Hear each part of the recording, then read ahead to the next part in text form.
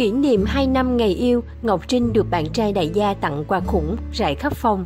Ngọc Trinh không giấu nổi hạnh phúc khi nhìn thấy món quà mà bạn trai đại gia đã dày công chuẩn bị.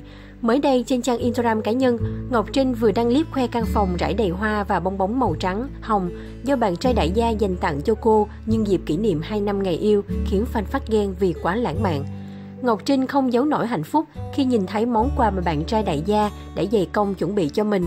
8 tháng 4 2017, 8 tháng 4 2019, lớp du Căn phòng được trang trí đẹp mắt cầu kỳ với gam màu trắng và hồng, màu mà Ngọc Trinh ưa thích. Điểm nhấn của căn phòng là chiếc bánh hình trái tim màu trắng hồng với dòng chữ chúc mừng ngày kỷ niệm. Cận cảnh chiếc bánh trái tim mà bạn trai đại gia tặng nữ hoàng nội y. Nhiều fan cũng phát ghen trước tình cảm sự chiều chuộng của bạn trai dành cho Ngọc Trinh. Bóng bay vào hoa được trang trí khắp căn phòng, trên giường còn có hình trái tim kết bằng hoa hồng đầy nổi bật. Ngọc Trinh tận hưởng hạnh phúc khi kỷ niệm 2 năm ngày yêu trong căn phòng như mơ. Trước đó Ngọc Trinh cũng từng khiến hội chị em phải ghen tị, khoe không gian lãng mạn ngập màu hồng do bạn trai đại gia kỳ công chuẩn bị cho cô nàng trong dịp sinh nhật 29 tuổi. Món quà bất ngờ lãng mạn này của bạn trai đã khiến Ngọc Trinh cảm động bật khóc như con nít.